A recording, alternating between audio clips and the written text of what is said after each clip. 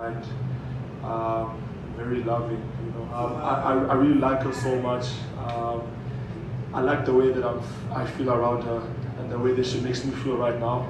Um, I don't know what the future holds, but at the moment, I like the way she, she, she's making me feel. So. Hello wonderful people, welcome once again to this channel. It's your girl Clara Edith. Consider subscribing if only you want to be seeing videos from this page. So guys, today I want to talk about the amazing things in Big Brother's house today. Remember, this season is Valentine's season, so let's come to an agreement. I call it an agreement and do the needful to our partners show love share love express love by giving out to your friends your you know not necessarily your lovers. You understand? Big brother instructed housemates asking them to give. Asking them to give this valentine cookies to their partner and also to their platonic friends, but he later changes the instructions by saying you can give to people you love.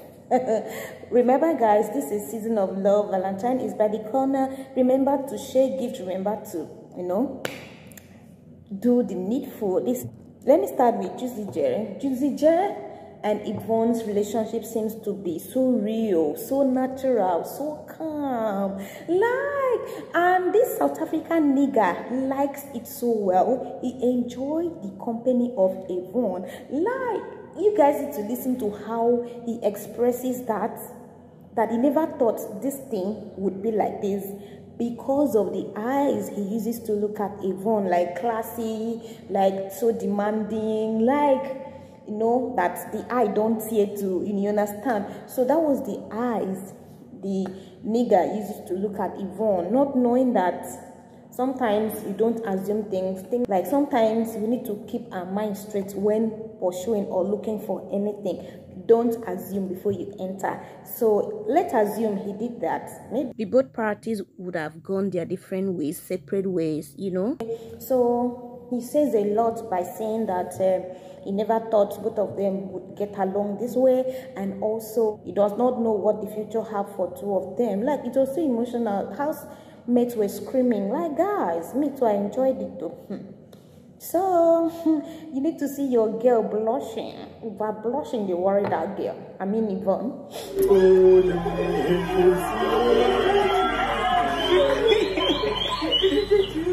so moving to another one, my people. Hmm, I was waiting to see uh, who Yemi is going to give his cookies to, who Blue is going to give her own to, and also Kihosi. So hmm, let me start with Yemi. Yemi first personally gave it to Nelisa, his partner, and you guys to listen to how he spoke about Nelisa. Like he likes defending Nelisa. Remember, see, Nelisa is so intelligent, so very calm in nature, very natural. So he said so many things before he gave out the cake to Nelisa. So we're sleeping something together. We sleep close to each other. See, it, it, felt like it was supposed to happen. It felt like it was destined to happen. And uh, she's playful, she's outspoken, and I fuck with her every. And um, I tell her every time how much I fuck with her. You know. Thank you so much. Yeah. Nelisa is an important person to Yemi. Like you guys need to listen to how Yemi describes uh this girl. Like if these two persons end up outside together, eh, I will not be surprised because ah you guys need to see how Yemi used to defend her. Uh Yemi is always there for her. Like guys, I hope uh, and uh, Blue will not start fighting. And this is one of the things that made Blue not to like Nelisa. Honestly, she perceived Nelisa and Yemi differently from uh, Khosi. Mm. Blue is so much jealous of Nelisa than the way she is with uh, Khosi. Now, wow, but you guys also need to see how Nelisa described Yemi Hey, God. Like so special, more spacious than that of Khosi and Blue. You guys, listen to this. To the cookie monster himself, he is the chocolate god Yemi. Okay. Here we go. It even has his name on it because I know when now you like looking at yourself in the mirror. So it's might as well to look at yourself in a cookie. uh, the next one is. This was special presentation, honestly and I find this so unique. And even uh, Yemi adore this gift from Nelisa, guys. Blue is a mad girl. Can you imagine? she says Yemi is always advising her that um, he was the first person she has connection with when she first entered the house. That one she's correct. But this kind of advice she's talking about, I don't know whether kisses advices or bed what kind of this girl eh, she's so funny so guys i'm going to leave you guys to listen to how she presented her own cookie uh, to Yemi.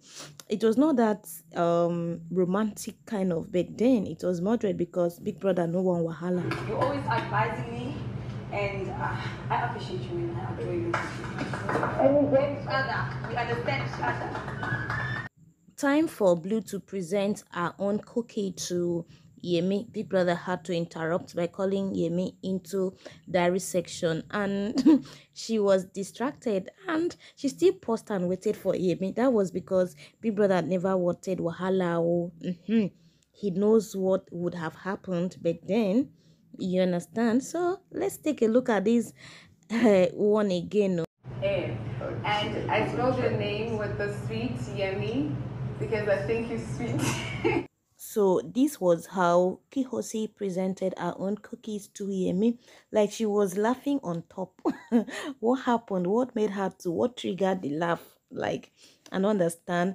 Maybe uh, that sweet Yemi is not from her mind based on what she has gone through in Yemi's hand. Even when she gave out the cake to Yemi, she gave it to Miracle, Taban, and Yemi was the last person. That means Yemi is our last option.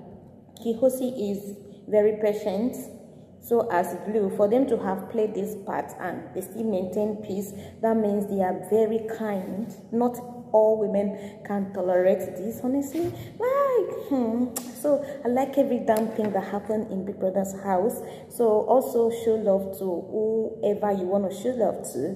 This season is a season of love. But again, I get into rooms where conversations are being had. The minute I get in, it's goes quiet and I feel mm. uncomfortable. You know, I got three cupcakes. Ipeleng breaks down in tears. She feels isolated from other girls and she just got only three cookies from housemates. Like, guys, whatever things you saw, you go rip them.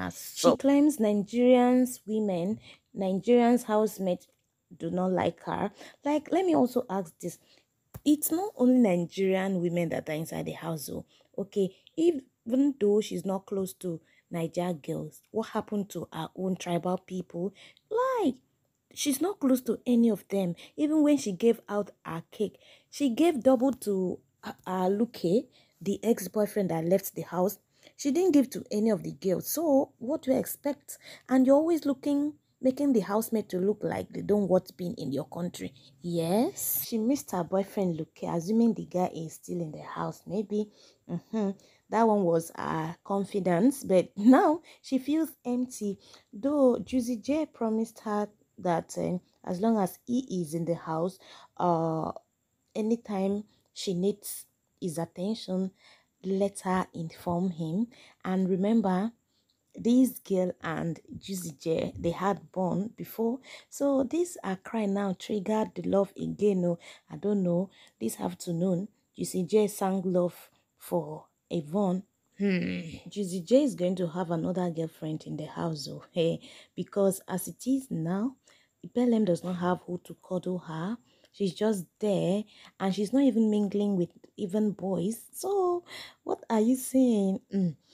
I God, oh, I beg. Ah, it's good to feel this way sometimes. We do cry secretly too. So if it happens, you cried yours openly. It's a plus to you. It's a blessing and it's a first to surely you shall pass over it. So guys, thank you for listening. It's me, Clara Edith, and I'm coming back again. Thank you. Bye for now.